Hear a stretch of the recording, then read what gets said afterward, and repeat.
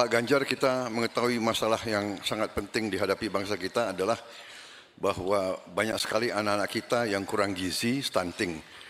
Uh, saya ingin bertanya apakah Bapak setuju dengan uh, gagasan saya untuk memberi makan bergizi untuk seluruh anak-anak Indonesia untuk mengatasi masalah stunting dan menghilangkan uh, kemiskinan ekstrim dan juga mengurangi uh, angka kematian ibu-ibu pada saat melahirkan. Terima kasih.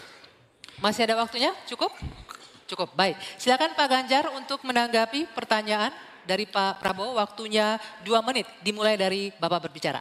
Kalau ngasih makannya kepada anak-anak untuk mencegah stunting, saya sama sekali tidak setuju Bapak. Karena Bapak terlambat Pak. Stunting itu ditangani sejak bayi dalam kandungan Pak. Ibunya yang dikasih gizi.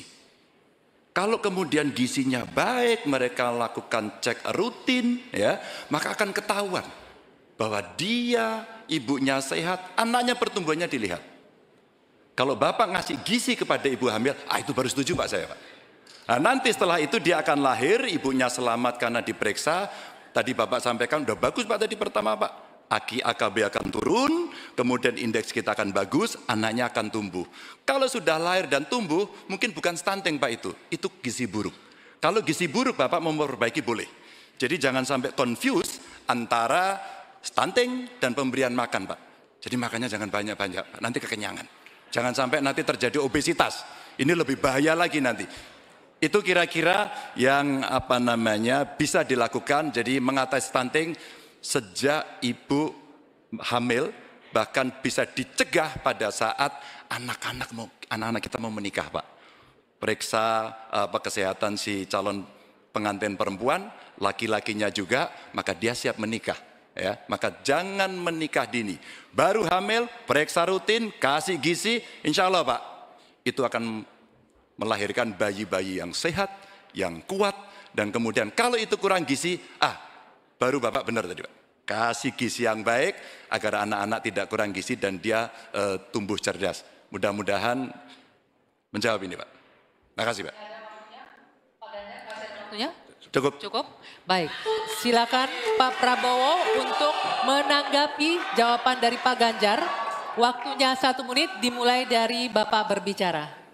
Uh, sebetulnya yang saya sampaikan ya persis itu. Jadi kita Oke. Okay. Belum, belum, belum, belum. Kita beri program saya, kita beri makan ibu yang sedang hamil. Kita beri bantuan gizi ibu yang sedang hamil karena dia mengandung 9 bulan. Tapi memang stunting itu karena kurang gizi, Pak Ganjar. Itu karena ibu dan karena dianya juga kurang gizi, dia stunting.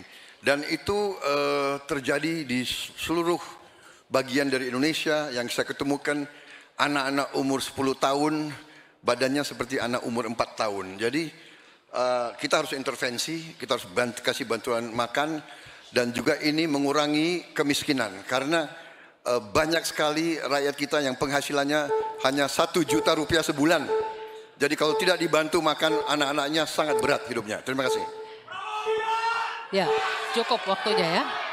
Baik, selanjutnya kami persilakan Pak Ganjar untuk menanggapi jawaban dari paslon nomor 2. Waktunya satu menit, silakan dari sekarang.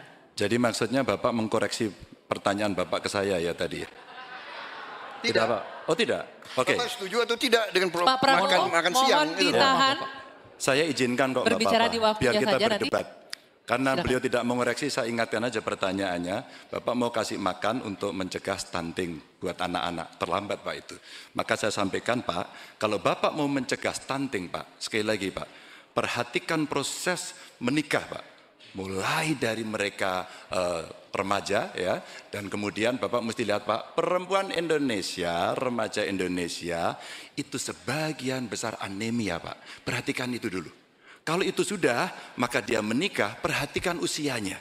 19 tahun usia hari ini adalah menjadi ukuran di mana mereka akan sehat secara mental dan secara fisik.